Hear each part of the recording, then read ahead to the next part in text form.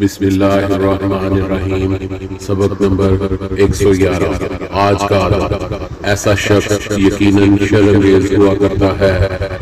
जो इंसान अपने किसी फेल में अपनी कजरबी न देख सकता हो, और जब तक वो न चाहे, आप उस शख्स को कभी रहे रास पर नहीं ला सकते। लिहाजा खुद अपने अमाल की निगरानी कीजिए। खुद अपनाइए, दूसरों को सिखाइए। मोहम्मद नजीम।